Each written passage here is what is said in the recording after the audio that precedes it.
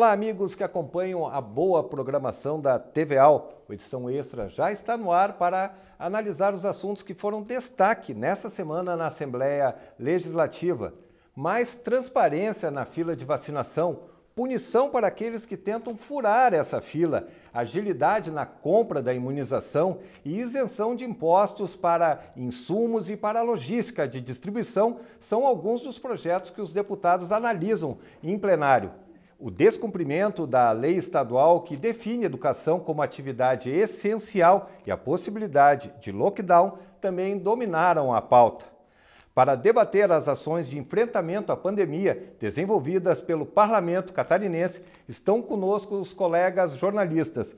Ederson Morist, ele que é jornalista do canal Ideal em Xanxerê, e João Paulo Messer, coordenador da programação da Rádio Eldorado de Criciúma, colunista do ND+, e apresentador da NDTV. Ederson, seja muito bem-vindo à nossa primeira vez junto aqui. Obrigado por ter aceitado o convite.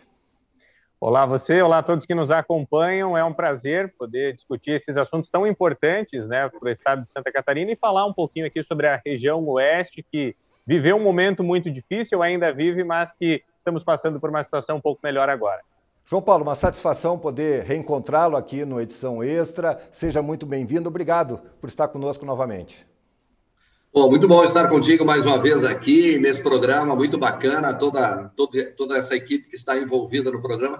É sempre uma bela oportunidade que a gente tem para discutir assuntos que estão pautando as nossas vidas há um ano, há mais de um ano já. Esse tempo anda, hein? É coisa, né? E pensar que há um ano a gente estava torcendo para que isso tudo fosse passageiro, que talvez é, daqui a dois meses, três meses a gente estivesse vivendo uma outra realidade. Parece, né, que aquilo que se preconizava em março de 2020 está acontecendo agora, que é o, o colapso no sistema de saúde. Eu, eu quero aproveitar, então, essa minha primeira conversa com vocês, aproveitando que a gente está conseguindo fugir um pouco da ilha é, com essa edição extra, né? Nós estamos com o representante do Oeste, o representante do Sul, eu que sou morador do, do Médio Vale do Itajaí, para que a gente consiga atualizar os nossos telespectadores com a situação em cada região. Ederson, você acabou de falar que é, viveu um momento muito difícil ainda, imagino que o momento é complicado, mas fala um pouquinho como é que está a situação nesse momento é, na região Oeste, aí na Chapecó, Xanxerê.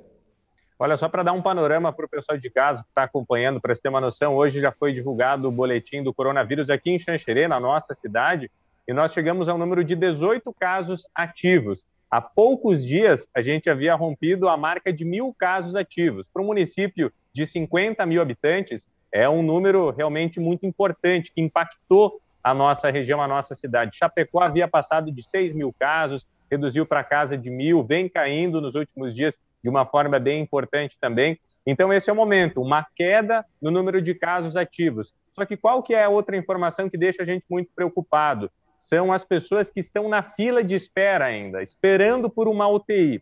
Por exemplo, o Xanxerê está numa situação complicada, são 19 pessoas, pelo último relatório divulgado pelo Hospital Regional São Paulo, que esperam por uma vaga. Infelizmente, você se colocar no lugar de uma família que está lá aguardando, sabendo que a pessoa precisa de um tratamento mais adequado e não tem por falta de estrutura, por falta de profissionais, porque não tem as condições de se tratar esse familiar. Chapecó tem cerca de 30 pessoas que estão na mesma situação, mas Chapecó conseguiu montar uma grande estrutura, é no centro de eventos, onde essa parte de atendimento inicial, um tratamento de menor intensidade ou de menor gravidade, 50% de ocupação, ou seja, ainda existem tem muitas vagas nesse sentido, mas quando o paciente precisa se direcionar para a UTI, aí sim faltam vagas. Então esse é o problema. Os números de casos ativos caíram, por isso eu digo que estamos num momento um pouco mais tranquilo a respeito disso, mas ainda uma preocupação enorme pela falta de leitos de UTI por aqui.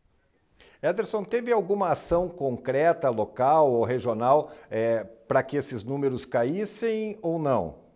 Sim, nós tivemos aqui fechamento do comércio, né, algumas ações que são bem polêmicas. Na verdade, a gente sempre acompanha isso que cada município vive uma situação, uma realidade, mas o fato é que para acabar impactando tem que ser algo regional. Tanto é que em Xanxerê, quando houve o fechamento do comércio, é uma das explicações do prefeito aqui, o Martarello, foi nesse sentido. Ele disse: olha, quando Chapecó decidiu fechar, eu tive que fechar por aqui também. 40 quilômetros de distância, teria a possibilidade de as pessoas de Chapecó virem para Xanxerê. A gente sabe que, infelizmente, as pessoas muitas vezes não entendem o recado. Ah, está fechado aqui, porque o que aconteceu em Xanxerê? Xanxerê estipulou, inclusive, a lei seca para evitar as aglomerações. Então, as pessoas não conseguiam comprar bebida depois das seis horas, finais de semana, tudo mais. Então, assim, muitas pessoas acabaram, isso começou há alguns dias. E aí, quando os outros municípios não tinham esse, essa lei seca, os moradores de Xanxerê se deslocavam para essas outras cidades para comprar bebida. Então, é, é, não entender o porquê disso. Ah, mas quer dizer que o álcool vai passar o vírus? Não, gente, é por causa da festa, da aglomeração. Então, principalmente fechamento do comércio, essas medidas com relação à lei seca que podem ter trazido esse impacto também. E, claro, essa questão de que a gente tem visto os especialistas falar, um grande número de pessoas acabou sendo contaminado, desenvolve a imunidade agora, e aí os números vêm baixando. Só que aí o cuidado tem que continuar, porque, infelizmente, essa imunidade não é para a vida toda, né? Esse é um bom tema aí também da gente falar dessas ações articuladas de forma regionais, que isoladas é, localmente acabam não dando muito efeito. Isso é uma, uma, uma boa dica, mas eu quero agora ouvir o, o, o João Paulo. João Paulo, como é que está a situação em Criciúma, na região sul no geral? O que você pode dizer para a nossa audiência?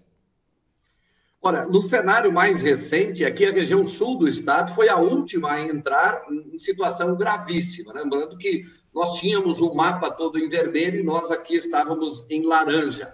Isso nos dava um certo alívio. Mas logo que começaram as transferências é, de pacientes no Estado pela regulação da Secretaria de Saúde, nós também entramos nesse quadro vermelho. O Estado de Santa Catarina estava numa situação delicada e nós não poderíamos, não era diferente a situação aqui. A estrutura hospitalar da nossa região ela é boa, o número de leitos disponíveis aqui, por exemplo, se comparados a outras regiões, nós vamos ver que a proporcionalidade aqui no sul do estado ela é melhor do que algumas dessas regiões. Então, esse foi um fator que contribuiu, num primeiro momento, para que aquela combinação de números entre os internados, e principalmente em UTI, e as unidades disponíveis não ficasse tão grave. A proporcionalidade de casos ativos é, de Covid esses estavam muito parecidos com outras regiões do estado. Então, quando entramos nesse cenário, aliás, nessa semana, eu ainda cuidei de uma matéria em que o cidadão de Chapecó, o primeiro a ser transferido, veio para o Hospital São José, aqui em Criciúma, ele teve alta nessa semana. Então, é, a emoção dessa família é algo assim que mexe com, né, com a gente. E estamos com a sensibilidade, a flor da pele, depois, como você disse muito bem, quando tudo isso começou, nós imaginávamos que dentro de 30 dias, 60 dias, no máximo 90 dias, tudo isso estaria normalizado e nós fazíamos planos para isso. Hoje, a gente segue acreditando que na semana que vem as coisas vão estar melhor. Os números daqui estão melhores nas últimas 48 horas, mas precisamos lembrar que nós já tivemos outros momentos, uma primeira onda, uma segunda onda e agora uma terceira onda. Então, eu diria que, assim como o Ederson fala da região oeste, como nós temos na, como falou o secretário de saúde durante a reunião do COIS, melhorou, está melhorando o quadro. Aqui não é diferente disso. Segue uma apreensão muito grande. Medidas pontuais que nós tivemos. Aqui em Criciúma teve uma muito forte que foi a instalação de um hospital de campanha, e veja como o, o, o processo público andou perdido, com informações desencontradas nessa questão da Covid, porque se instalou um hospital de campanha, se reativou um hospital, que era um hospital psiquiátrico desativado há dois anos, ele foi ativado, se criou ali um centro para internação e recuperação de pessoas com Covid. Estava próximo de fechar essa unidade hospitalar, o município,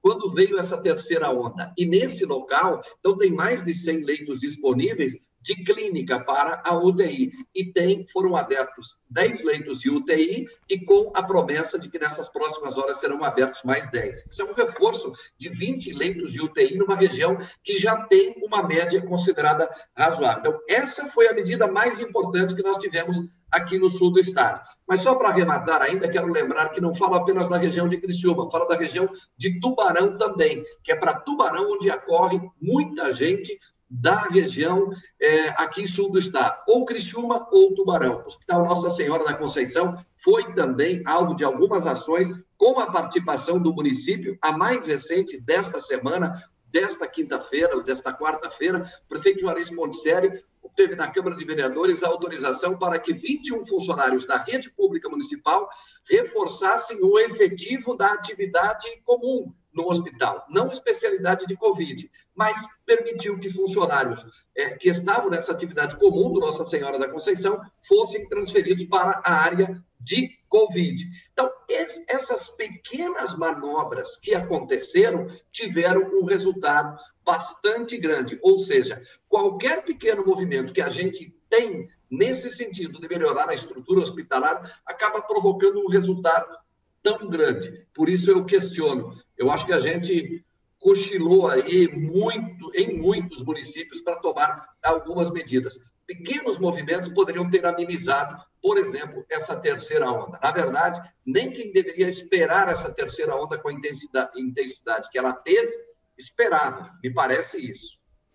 Pois é, eu acho que então, pelo que a gente está falando, há um consenso. É, a região do Vale do Itajaí também houve uma diminuição é, no número de contaminados, é, é caiu de 450, 500 para cerca de 200 e poucos. Mas a questão grave, que era isso que se preconizava lá em março do ano passado, é a questão do colapso no sistema de saúde, que parece que está acontecendo em todas as regiões e Criciúma parece que tá, é, a região sul tomou ações assertivas nesse sentido. Mas a, a, região de Blumenau, que também era bem estruturada é, de leitos de UTI, aconteceu um fato essa semana que foi um fato muito dramático, que a, a, as direções dos três hospitais, é, a, região ali do Médio Vale tem uma característica que ela não tem um hospital público, não existe um hospital regional, não existe um hospital público, então são, são hospitais filantrópicos que acabam atendendo ao público, claro que recebem recursos do município, recebem é, do Estado e da Federação também, mas esses hospitais hospitais, eles anunciaram um protocolo, que é um protocolo científico, é um protocolo médico que é muito usado, mas é um protocolo mórbido, que é o protocolo de escala de pessoas que serão atendidas de forma prioritária de 1 a 5. As pessoas, eu até escrevi no, no meu portal, no Informe Blumenau, as pessoas ficam meio chateadas, mas é isso, é um protocolo mórbido que diz que pessoas mais jovens e com mais possibilidades é, de vencerem a luta têm a prioridade do que pessoas mais idosas e com, com comorbidades mais graves. É uma coisa meio maluca, também a gente critica muito, principalmente a juventude, para ir embalada, em festa e não se cuidar tanto. E quando acontece um fato desses, são esses são os prioritários. A gente entende isso, o protocolo sanitário diz isso, o protocolo médico diz isso, dar chance para quem tem, é, tem mais chance, mas é uma coisa mórbida e eu fico imaginando os profissionais de saúde tendo que tomar esse tipo de decisão de definir quem vai ou quem não, quem não vai ir para o tratamento. Isso é uma coisa muito difícil. Não está acontecendo ainda, não tem é, é, fila de espera ainda no, no, no Vale do Itajaí. É, o Vale do Itajaí recebeu pacientes, principalmente do oeste do estado, é, quando a Chapecó teve uma crise, se eu não me engano, vieram cinco é, lá do oeste, mas agora a situação está é, é, complicada do ponto de vista hospitalar. E não foi tomada nenhuma medida é, restritiva mais dura, fora aquelas de ah, fechamento de bares às 10 da noite, proibição de, de venda de bebida alcoólica, aquelas coisas, mas não foi porque é, não adianta Blumenau, como ser uma, uma cidade sede, tomar essa atitude isoladamente, e o Ederson lembrou bem em outros episódios. Em, em, em, setembro do ano passado, Blumenau, o prefeito, tomou essa atitude em plena campanha eleitoral. O que, que aconteceu? O blumenauense achou que estava de férias, foi para a praia, foi para os barzinhos das cidades vizinhas, tudo. E não adiantou nada. Então, aí já entrando no outro assunto que eu quero trazer, que foi a discussão é, do lockdown, a gente percebe uma discussão muito acalorada e a grande maioria do parlamento é, é, olhando, é claro que olhando a questão produtiva, a questão econômica, que é tão importante, mas o parlamento se posicionando em boa parte contrária à questão do lockdown. E o que me parece é que se é para tomar uma medida dessas, a medida tem que ser de todos como o governador tomou lá atrás, e hoje o governador não tem é, estrutura política né, para tomar uma medida nesse sentido. Então, eu quero é, é, já puxar esse contexto de lockdown, da discussão que está sendo feita é, na Assembleia, com muitas críticas a isso, o governador é, relutando em aceitar esse lockdown. Mas como é que vocês veem essa discussão na Assembleia? O que, que a gente pode fazer com relação a esse assunto? Olha, é um assunto sempre muito polêmico, né? A gente observa que existem opiniões divididas, inclusive entre os ditos especialistas, né? Ah, o lockdown ajuda, não ajuda, colabora, não colabora. É muito difícil para o gestor, para quem tem que tomar essa decisão, para quem está com a caneta na mão, porque é aquela história, daqui a três, quatro, cinco anos, talvez a gente olhe, isso aqui foi feito errado, isso aqui não deveria ter sido feito, deveria ter sido feito de outra forma. Mas, no momento, o que eu vejo é o seguinte, tem que tomar alguma atitude tem que se fazer alguma coisa, não dá para esperar as coisas simplesmente desandarem. Então, me parece que o lockdown ele é a medida que mais machuca, que danifica, que prejudica a economia, digamos assim, mas ao mesmo tempo, em meio a uma situação em que as pessoas não entendem o recado, que continuam aglomerando, fazendo festas, fazendo ou tendo atitudes que não deveriam ter em um momento como esse, o governo eu vou fazer o quê? Eu vou deixar as pessoas morrerem? Então, infelizmente, nós, cidadãos, acabamos obrigando o governo municipal, estadual ou até federal a tomar essas medidas mais duras. É claro que ninguém quer ver empresa fechada. Nós temos aqui, nós somos o canal ideal, somos um veículo de comunicação, somos uma empresa. Se o comércio fecha, a gente não consegue vender o comercial, a propaganda. Então, a gente também entende isso.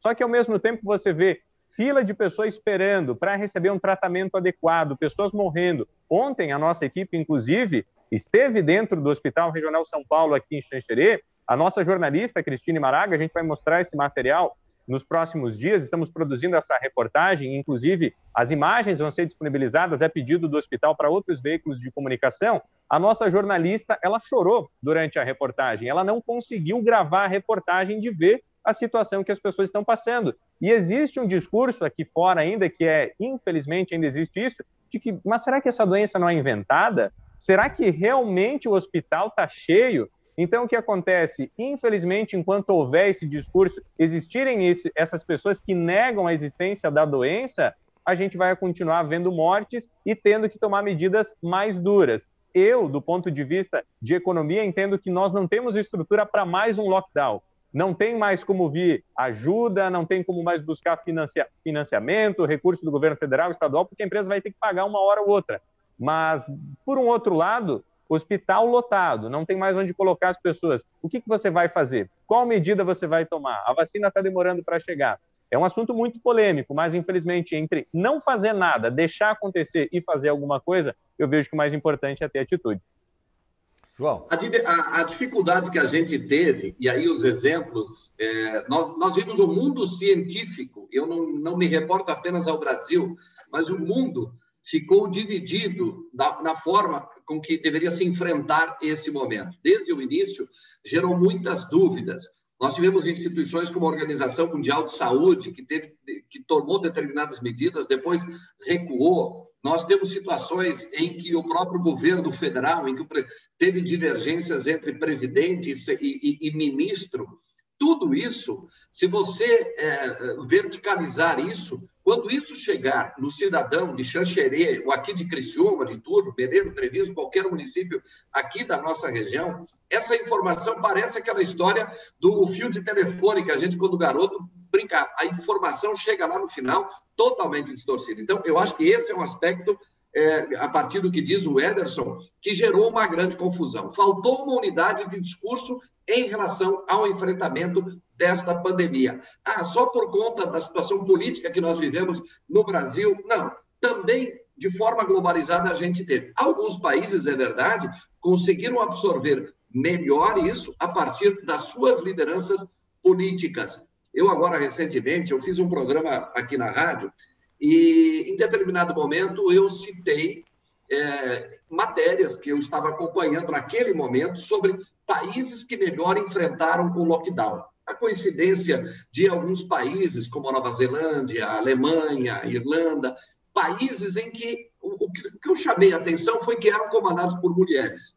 No mesmo instante, é, ouvintes da emissora que estavam nos acompanhando nesses países interviram na programação, na nossa interação e disseram o seguinte: epa, não é exatamente isso que você está vendo nessa matéria aí. Ou seja, o cidadão de lá vem com a informação não é exatamente o que tu estás recebendo de informação. A realidade aqui é um pouco mais dura do que essa boa imagem que estão passando aí para outros países. Então, nós tivemos um desencontro de informação muito grande. E quando o Ederson é, fala, Alexandre, da, da, da, que nós não temos mais estrutura econômica, a gente não tem mais estrutura econômica, não tem mais estrutura psicológica para novo lockdown. Essa palavra soa muito mal. E até há quem. É, a gente tem hoje, nós temos nessa semana uma polêmica aqui em Criciúma, a partir de uma manifestação do prefeito, é, é, meio que criminalizando o serviço público, é, abrindo um lockdown, é, a proximidade de um lockdown voluntário, isso que circula em todo o estado, em todo o país aí, é, são essas, essas coisas que desvirtuam aquilo que nós precisávamos, precisaríamos entender, receber e entender, que é uma linguagem só na, na, na, no efetivo combate a essa situação. Andamos todos muito perdidos. Eu acho que essa falta de informação levou até alguns veículos a terem questionados seu posicionamento editorial, e eu confesso que eu tenho muitas dúvidas sobre isso, porque nós vivemos nessa divergência total é, das nossas autoridades. Esse é um, é um dos grandes problemas que nós é, tivemos, além da já combalida estrutura existente na saúde pública que a gente tem minimizada em algumas regiões, Alexandre. É isso aí. Eu acredito que a, a, politização dessa situação, a falta de unidade, principalmente de cima para baixo, de Brasília para cá, é, ela contribuiu e muito para esse estágio que a gente, que a gente teve. E eu, eu tenho feito uma, uma, uma afirmação que eu uso muito, que é todo mundo tem as suas razões nessa pandemia. Todo mundo tem suas razões, porque todo mundo tem, tem um sofrimento, tem uma dificuldade, é, tem uma vivência muito particular. É, então, todo mundo que faz seus argumentos, eles têm suas razões, elas precisam ser levadas em conta, mas é preciso chegar a um consenso. Eu vou fazer um breve intervalo agora, para no próximo bloco a gente falar de algumas ações que estão sendo tratadas na Assembleia e, se possível, a gente volta ainda para falar um pouquinho mais de lockdown, de, de discussão sobre a possibilidade de, de, situações paliativas que podiam ser e também sobre essa discussão aí sobre a questão da educação como atividade é, essencial e, portanto, que teria que ter aulas presenciais, como algumas prefeituras tentaram revogar e a Justiça já está cancelando. Peço uma licença um minutinho, nós vamos a um rápido intervalo, esse é o Edição Extra, daqui a pouco nós voltamos. Estamos de volta, esse é o segundo bloco do Edição Extra, que fala aí das ações é, desenvolvidas pela Assembleia Legislativa no enfrentamento à pandemia. A gente percebe vários projetos de lei, várias discussões no plenário, todas convergindo para a questão da vacina. A vacina é, também acabou se transformando numa tábua de salvação, na esperança que, que nós brasileiros nos agarramos para tentar superar esse momento é, difícil. O meu amigo, meu colega, Paulo César Santos, fez uma reportagem é, resumindo um pouquinho sobre esses projetos que estão em tramitação na Assembleia. Confira. Diante do avanço da pandemia estado afora, a Assembleia Legislativa de Santa Catarina, sensível ao cenário, apresentou propostas para auxiliar na condução da crise. No ano passado, repassou 20 milhões de reais para o Estado aplicar em ações de combate ao novo coronavírus. E os 40 deputados estaduais trabalharam incansavelmente para apresentar projetos de leis, indicações, requerimentos e aprovar em tempo recorde matérias relacionadas à maior crise de saúde da história. E de lá para cá, pelo menos 20 projetos de leis já foram discutidos e aprovados aqui no plenário da Assembleia Legislativa. A maioria já foi transformada em lei estadual. Com a chegada da vacina no Brasil, grupos prioritários foram pré-estabelecidos. Mas surgiram pessoas que se aproveitaram de cargos e funções para quebrar a regra e ficaram conhecidos como fura-filas. Atento, o deputado Ivan Nats apresentou proposta de punição a quem for flagrado nessa condição em Santa Catarina.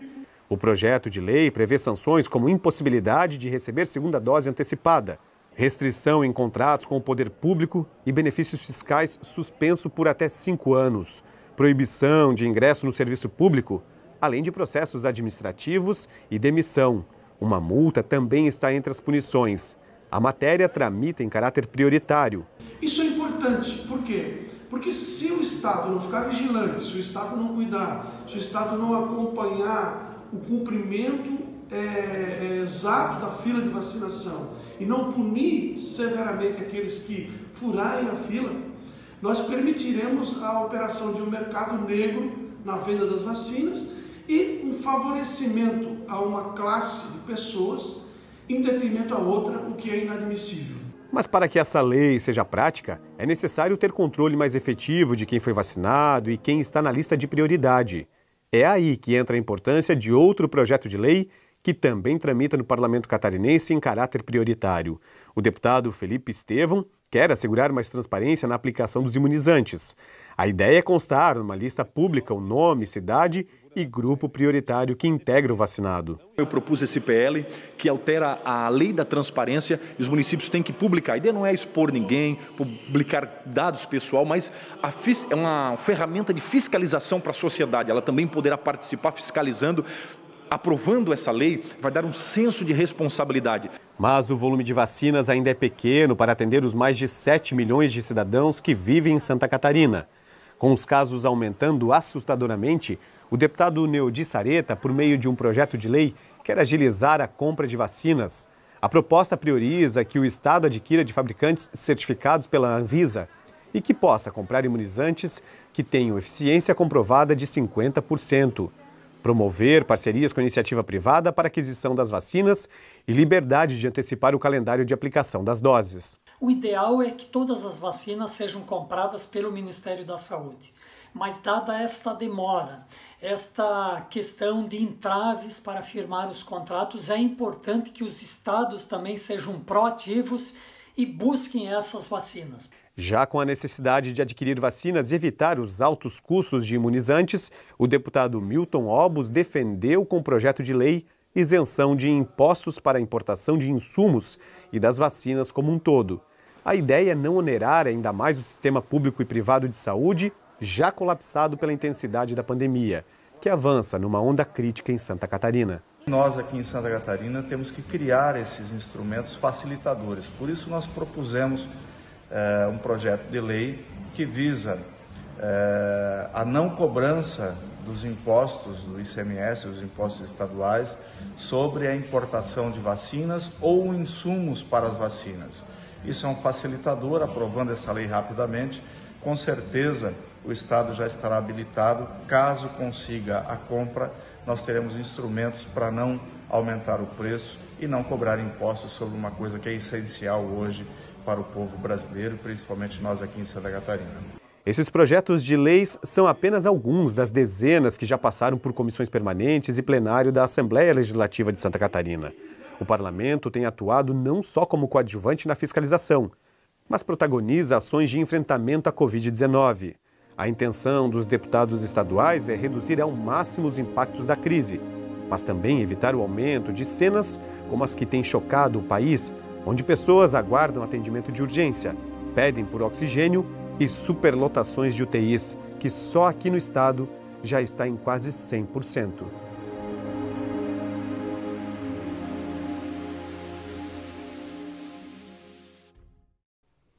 Bom, você viu aí na reportagem do Paulo César Santos aí alguns projetos que estão em tramitação, vários debates. A Assembleia tem assumido um protagonismo desde o começo da pandemia, é, com fiscalização, com comissão de acompanhamento de gastos e com projetos importantes aí é, com relação à situação do coronavírus, ao enfrentamento, e agora todas as atenções estão voltadas é, para vacinas. Eu vou começar da, da parte final da, da, reportagem do Paulo, que fala do projeto do, do o deputado Milton Alves também tem um projeto é, do deputado Neudi Sareta é, sobre a, a questão de facilitar a aquisição de vacinas e facilitar é, a, a, não cobrar impostos com relação à a, a, a, logística, a importação, tudo que diz relacionado à vacina. Parece uma coisa extremamente coerente, não faz sentido a gente jogar uma carga tributária numa coisa que é absolutamente essencial para o povo catarinense. Eu quero, o Anderson me permite, eu quero, começando nesse segundo bloco aqui, é, nessa linha, é, primeiro fazer uma observação. A gente passa o dia todo analisando aqui o comportamento de um e de outro gestor. Nós passamos, como cidadão, nem mesmo o nosso papel é de jornalista, mas como cidadão, nós passamos analisando os mais atentos, pelo menos, analisando o comportamento de cada uma das instituições nesse cenário. Temos esse direito para fazer esse julgamento. Eu acho que se nós tivemos nos últimos tempos um momento oportuno, acertado em todas as circunstâncias, é a intervenção da Assembleia Legislativa.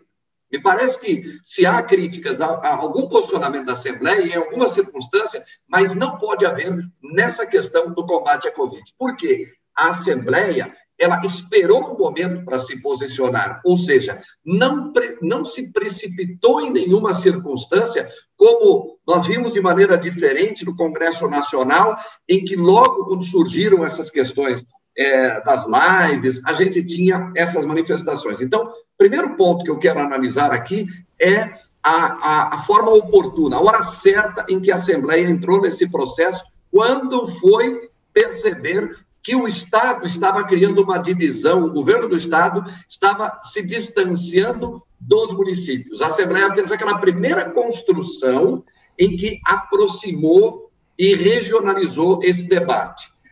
Agora, com essa intervenção na questão dos insumos, ela também esperou um momento para fazer isso. Ou seja, poderia até ter antecipado um pouco, mas aguardou o momento exato para fazer essa intervenção. Acho, de novo, que se acertou nesse sentido. E aí, óbvio, é, quanto ao mérito do, do, do, projeto, da proposta, eu deixo até para o Ederson é, falar sobre isso, mas me parece muito justo, muito oportuno que, neste momento, é, se descarregue dos ombros é, daqueles que pretendem é, in, é, importar ou ter algum, algum, alguma alternativa, como os insumos, eles não podem, nesse momento, sofrer a carga tributária que há, porque estamos com o sistema econômico combalido.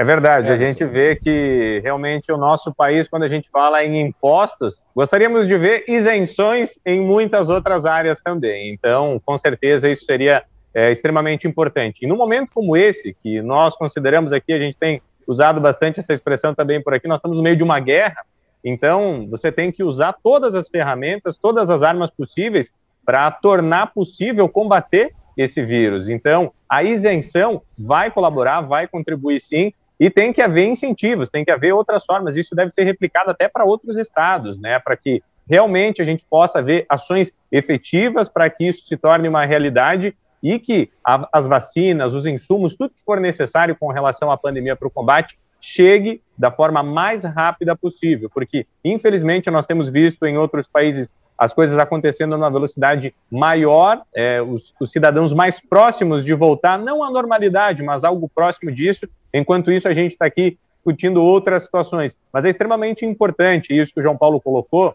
nessa questão da atuação da Assembleia Legislativa. Aquilo que a gente fala, tem que ter atitude, tem que fazer alguma coisa, tem que buscar. Não dá para só ficar esperando o governo do Estado que resolva, o governo federal que faça. Então tem que tomar atitude, tem que buscar medidas para que a população, para que o cidadão tenha acesso aos medicamentos, que os hospitais tenham acesso aos insumos, para que tudo isso se torne uma realidade de um jeito muito mais fácil, tendo em vista todo esse impacto na economia que a gente já tem sofrido. Que, apesar de tudo isso, vale ressaltar o que a gente vê de campanha de empresários, de entidades se mobilizando para levantar recursos e comprar equipamentos e comprar insumos para os hospitais. A gente fala aqui do Oeste, teve um impacto muito positivo, tanto no Hospital Regional do Oeste em Chapecó, Hospital Regional São Paulo aqui em Xanxerê e outros hospitais da região, em que os empresários se reuniram, mesmo diante de uma situação difícil. A gente sabe que existem empresas numa situação mais tranquila, outras nem tanto assim, mas eles se uniram para levantar recursos e poder colaborar. Então, esse momento é possível reduzir impostos? É possível facilitar? Tem que ser feito mesmo. Deixa eu, deixa eu só fazer, claro. Alexandre, me permite? Claro. Só claro. fazer uma observação, tocou muito bem o Ederson nessa questão. É, volto à, questão da, da oportunidade, do momento, da ocasião em que houve a inserção da Assembleia Legislativa, que naturalmente nós estamos aqui em um canal que abrange principalmente essa atividade do nosso Legislativo. Veja que nós vivíamos um momento de tensão absoluta, diálogo, diálogo zero entre o legislativo e o executivo quando estourou essa bomba do coronavírus.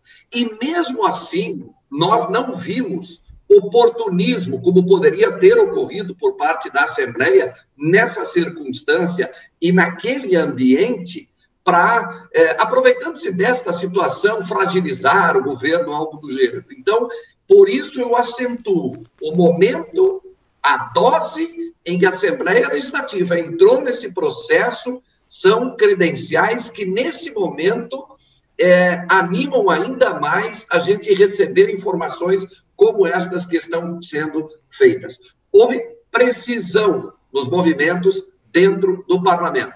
Por força das suas lideranças, por força da estrutura, do ambiente na Assembleia, não sei. O que a gente teve foi, na verdade, um ambiente é, que não perturbasse, que não criou, é, que, que não criou mal-estar para o governo do Estado. Foi, a Assembleia foi um aliado nesse momento, continua, né? Mas eu quero principalmente chamar a atenção para aquele momento que era uma situação de tensão. E a gente sabe que no ambiente de política, muitas vezes, a oportunidade é que faz outros alçarem outros voos. E a gente teve muito respeito a, a situação por parte da Assembleia. Então, eu não queria deixar passar em branco é, esta situação, porque a gente muitas vezes é, questiona posicionamentos aqui ou ali, individuais, ou mesmo da coletividade, mas principalmente comportamentos individuais e até de determinadas bancadas, mas nesse sentido houve unanimidade de uma postura elogiável por parte da Assembleia Legislativa.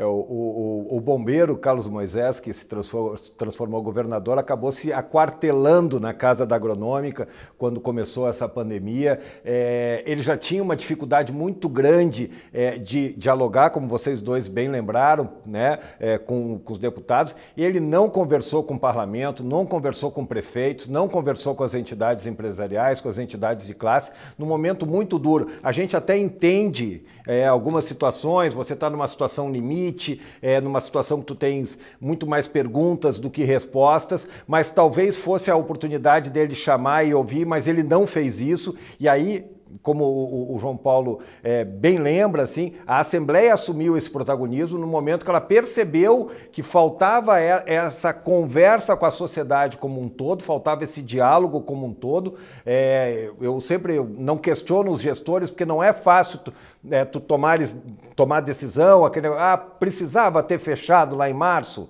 Né, aquela coisa, a gente só fica sabendo depois. Hoje tu fica olhando e diz, é, talvez, talvez não.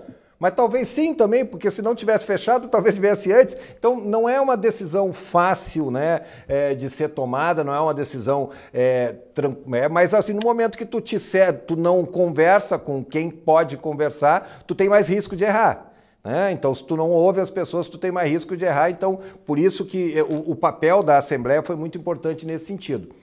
Eu quero falar então mais, é, ainda voltando ainda à questão da vacina, tem o projeto da transparência, mas eu ainda quero é, falar. É, é importante esse trabalho de agilizar, de tudo, mas nós estamos com uma dificuldade, aí é uma responsabilidade do governo federal que demorou para se mexer nessa questão das vacinas, né? demorou esse processo, a gente está muito atrasado com relação à, à, vacinação, e a gente vê esses processos, a gente vê as câmaras de vereadores é, é, aprovando proposta do, do, das prefeituras que manifestam que vão comprar, que estão formando consórcio e tal, mas a realidade, principalmente nessa questão municipal, que está se vendendo uma mensagem que muito dificilmente vai acontecer em curto espaço de tempo. Ah, é bacana a prefeitura dizer que tem dinheiro para comprar vacina, é bacana a Câmara de Vereadores dizer que aprovou e está fazendo seu trabalho. Claro, isso é importante, a gente está vendendo também uma, uma ilusão para as pessoas porque não tem vacina para comprar e qualquer vacina que chegue nesse primeiro momento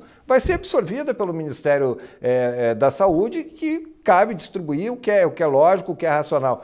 Então, também, a, a, a, às vezes, me preocupa, principalmente nos municípios, é, a venda de uma imagem errada, é, de uma esperança que todo mundo tem, mas ela não vai se resolver a curto espaço de tempo.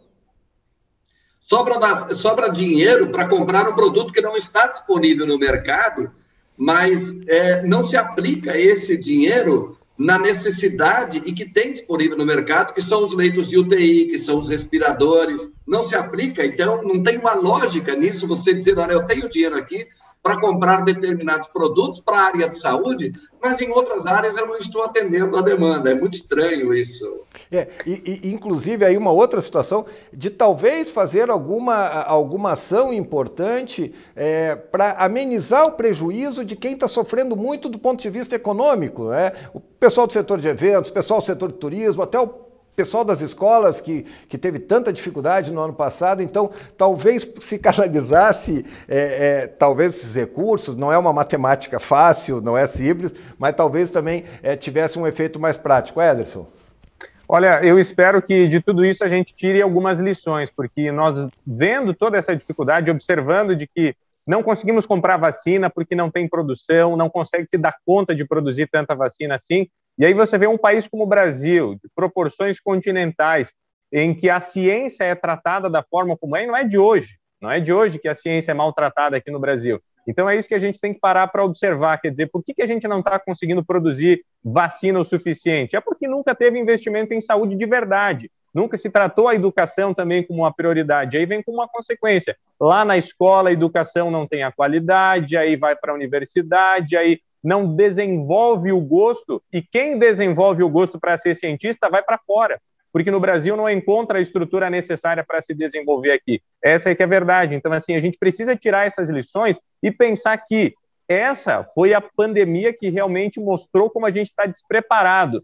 Pode vir uma segunda, pode vir uma terceira. O que, que a gente vai fazer de diferente? Vamos de novo esperar, porque passou um ano e de medidas realmente efetivas, de mudanças efetivas, nós vimos pouca coisa. Agora, o que, que a gente vai fazer para os próximos 10 anos? O que, que nós vamos fazer para os próximos 20 anos? Então, esse é o ponto. É, é, o que o João Paulo colocou é fato. Então, quer dizer, está todo mundo querendo comprar o produto, todo mundo tem aí, buscou recurso, seja de empresa, seja o governo, dá-se um jeito. Agora a vacina é o que vai salvar mas aí não tem como produzir. Mas por que, que não tem como produzir? Porque falta laboratório, falta cientista, falta pesquisa, falta avanço. Quer dizer, tem que se tirar lições nesse momento. Eu espero que a gente consiga tirar realmente. Uma, um problema que a gente enfrenta em todo o Estado é a questão do transporte coletivo. O, o, o, quem, quem, quem, oferece o transporte coletivo, quem gerencia em última instância o transporte coletivo, é o gestor municipal. Como é que os gestores municipais não encontraram nesse momento, se tem recursos disponíveis na saúde, por exemplo, para subsidiar porque eu não vejo, eu não, eu, eu não entendo como o dono da empresa de transporte coletivo o vilão dessa história dos ônibus superlotados. Eu creio que nós temos ônibus de menos colocados à disposição e ônibus nas garagens, sob o argumento de falta ou de efetivo mão de obra, é, enquanto as pessoas estão se aglomerando dentro dos ônibus. Por que não um subsídio para essas empresas. É muito fácil transferir a responsabilidade é, para esse setor, por exemplo, que já também está trabalhando é, estrangulado. E aí segue-se outros segmentos também. Mas eu tomo, por exemplo, uma coisa que é de gestão do município, que é a questão do transporte coletivo. Se vai utilizar apenas 50% da lotação do ônibus, bom, mas eu tenho todas as atividades é, normais, então eu preciso colocar o dobro de ônibus. Isso é, uma, isso, é uma, isso é uma conta simples de se fazer. Eu deixo, ó, apenas a metade desses passageiros podem entrar no ônibus. Mas eu tenho toda a população na atividade normal. O cidadão precisa do transporte coletivo. A planilha calculou um valor de passagem para X número de passageiros. Se eu determinar a essa empresa que ela coloque menos pessoas dentro do ônibus, logo eu vou estar onerando esta empresa. Eu preciso fazer esse cálculo. Ou então eu estou com problema, estou com uma passagem cara demais para aquele público aglomerado, para 100, 100 pessoas dentro de um ônibus, 80 pessoas dentro de um ônibus. Então, alguma coisa está errada nesse processo. Então, eu vejo que tem um problema da iniciativa privada, restaurantes e outros segmentos que precisam ser subsidiados, sim, mas tem também uma, uma situação que tem que ser resolvida pelo gestor municipal, que é a do transporte coletivo. E aí parece que, assim como os bancos, que é uma questão federal, todos os prefeitos lavam as mãos, né? Deixa eu só citar com exemplo, Blumenau, a prefeitura aportou 10 milhões e vai aportar mais 5 milhões. É, também houve uma sinalização da justiça o que fez muito bem, mas por outro lado, ainda com frota reduzida, a empresa reduzindo o número de ônibus circulando, e então é, é, é, é isso, eu concordo contigo que, que a empresa não pode ser a vilã, mas também é, nesse momento tão difícil, a frota tinha que estar operando na sua plenitude, é, até porque a prefeitura aportou dinheiro e isso não está acontecendo e é um vetor de contaminação bastante importante. No próximo bloco, a gente fala sobre o projeto do Felipe Estevam para dar transparência na vacina, é, uma ideia do, do, do deputado Ivan Nates e de outros para punir quem fura fila. Tem muita gente que quer furar fila, é um absurdo. Né? Então a gente vai para um rápido intervalo. Na sequência, tem o terceiro e último bloco do Edição Extra.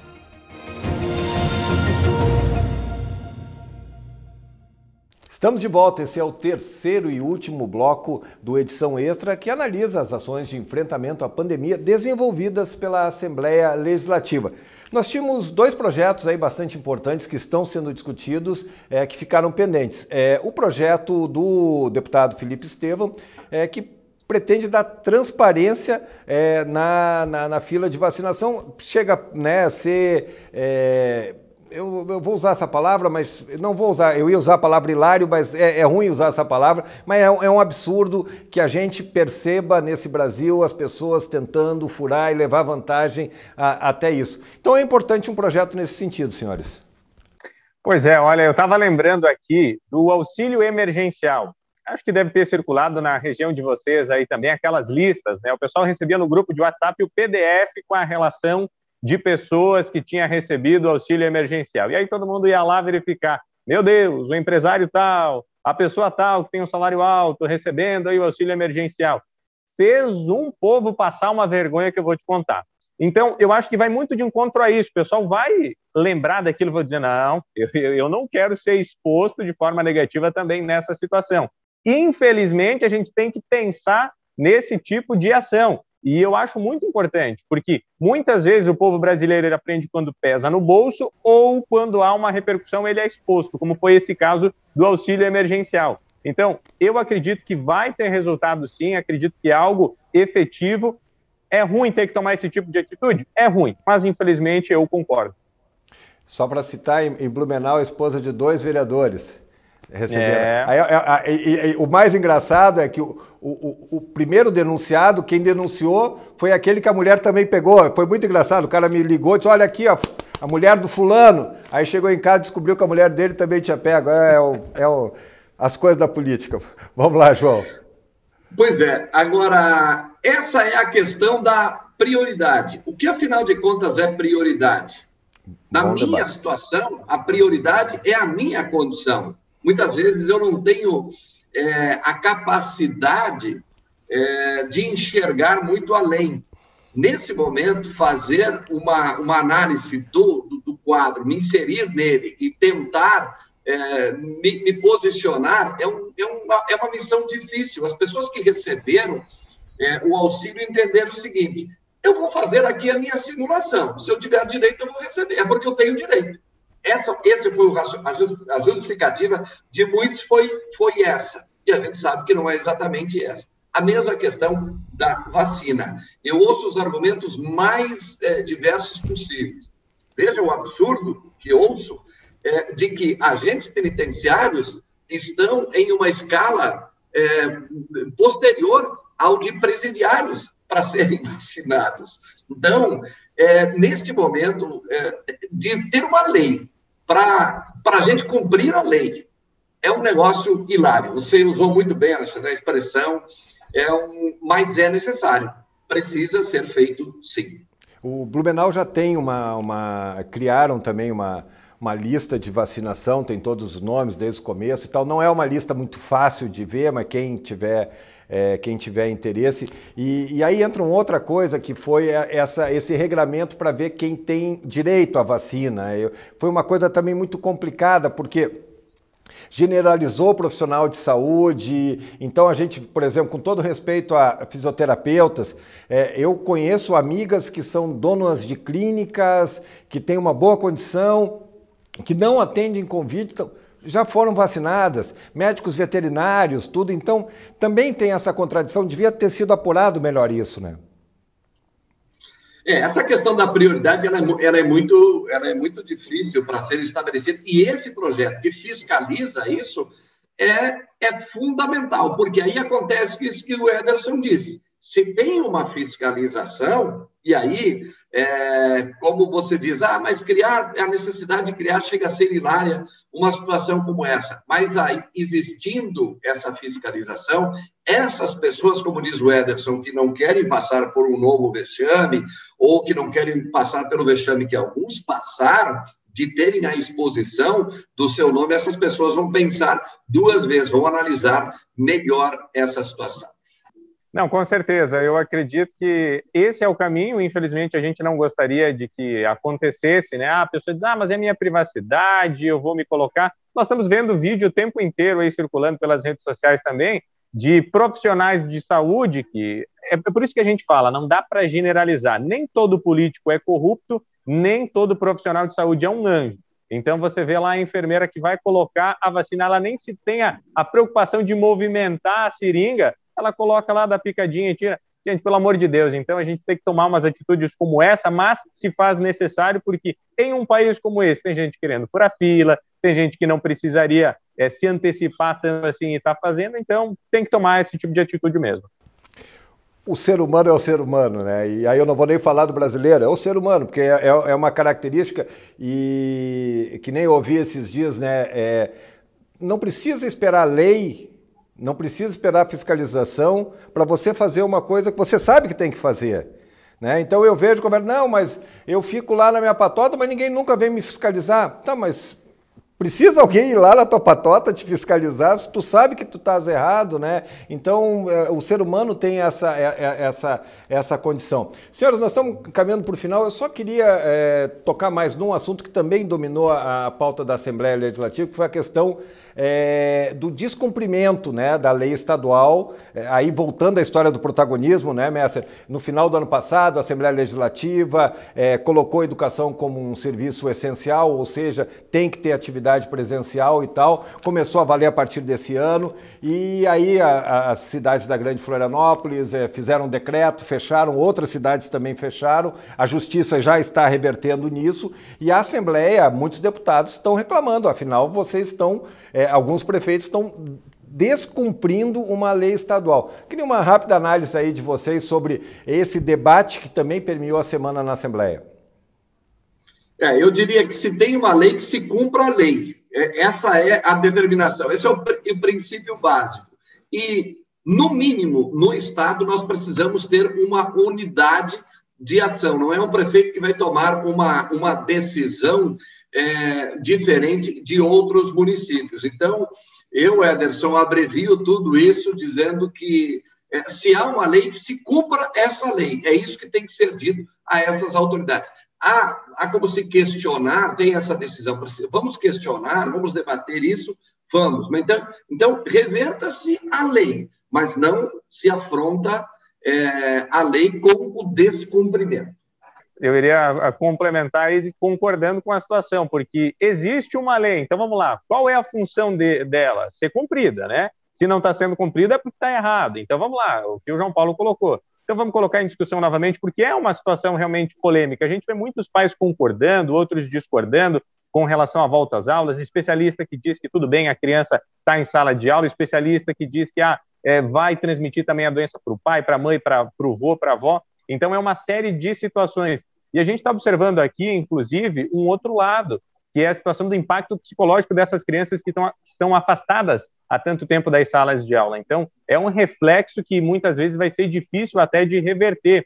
Você escutar crianças com a frase não tem mais graça viver desse jeito, é, é, muito forte, é muito forte, quer dizer assim, a gente não sabe qual o impacto que isso vai gerar ainda pelos próximos anos nessas crianças, porque eu vi uma, uma frase também importante nesse sentido. Nós que somos adultos, se atrasar um, dois, três anos os nossos projetos, ok, é mais tranquilo. Agora, uma criança, ela vive de forma muito intensa a cada fase, e parece que passando um ano, passando dois, para elas o impacto é muito maior. Então, essa é a preocupação. Se é lei, é lei. Tem que discutir ainda? Então, se discute e se estabelece novamente que é lei. Como, como tudo nessa pandemia, tem várias nuances, né? A questão da escola tem várias é, é, situações e foi um setor que ficou fechado e, e aí não é nem questão econômica, é uma questão é, de sanidade é, mental, educacional, é, toda essa dificuldade é, e, e todas as escolas estão dando a possibilidade para os pais decidirem se querem levar ou ter aula remota. Então é essa a condição que está posta. A, a escola não é um vilão, a escola poderia talvez ser fechada dentro de um contexto de, fecha, é, de fechamento total, dentro de um contexto é, é de lockdown total, que não é isso que está posto. Então, é, tu determinar coisas nesse sentido, a escola é, tem que fechar, mas o ônibus, como o João Paulo é, bem falou, pode circular, então são, são critérios é, muito subjetivos e a gente não consegue entender, e essa é uma coisa que perpassa a questão financeira. Senhores, eu quero. É, estamos encerrando o programa, né? Eu quero agradecer muito a participação. João Paulo, obrigado mais uma vez por estar aqui com a gente, abrilhantando esse nosso bate-papo. É sempre um prazer muito grande. Obrigado pelo privilégio de poder participar é, desses debates. A gente é sempre é muito atento àquilo que nós temos no parlamento. O parlamento está posto para, para legislar, mas também aquela, aquela velha máxima de que ele está aí para fiscalizar. E os nossos olhos também estão sempre atentos para fiscalizar também esse desempenho. Quando eu digo fiscalizar, para a gente comentar, para a gente discutir aqui. É sempre um prazer muito grande. Obrigado por toda essa equipe maravilhosa aí. Um abraço a você, Alexandre. Obrigado também ao Ederson. Grande abraço, João. Ederson, que seja a nossa primeira aqui de muitas ali. Obrigado pela tua participação aí. Agradeço o convite, Alexandre. Agradeço o João Paulo, toda a equipe, toda a produção aí. A gente sabe do trabalho extremamente competente de todos vocês e é sempre muito bom discutir esses assuntos que fazem parte da vida do catarinense, que fazem parte da nossa comunidade. Então, fico muito feliz mesmo em ter sido convidado. Senhores, mais uma vez, obrigado. E a você que está em casa, também o nosso agradecimento especial. Lembrando, nós estamos no auge da epidemia mais uma vez, então todo cuidado é possível. Se puder, fique em casa, utilize máscara, bastante higienização. É, cuide, não fique perto das pessoas, não aglomere, não faça festinhas, não faça churrasco cuide de você e dos seus. Um grande abraço, até a próxima!